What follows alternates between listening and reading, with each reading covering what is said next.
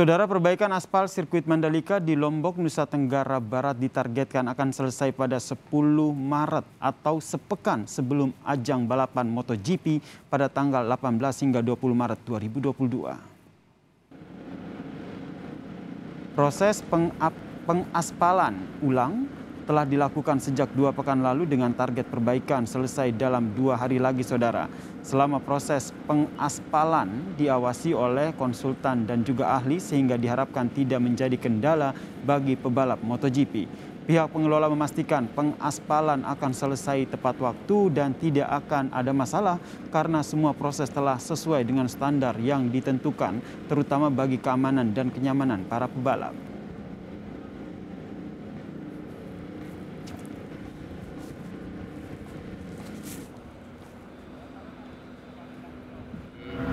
Target kita uh, tanggal 10 selesai tapi uh, proses pengaspalannya ya sedikit lebih cepat karena bahan-bahan bakunya sudah kita siapkan sebelumnya. Uh, jadi sejauh ini dari segi, sisi lintasan menurut saya nggak ada masalah sama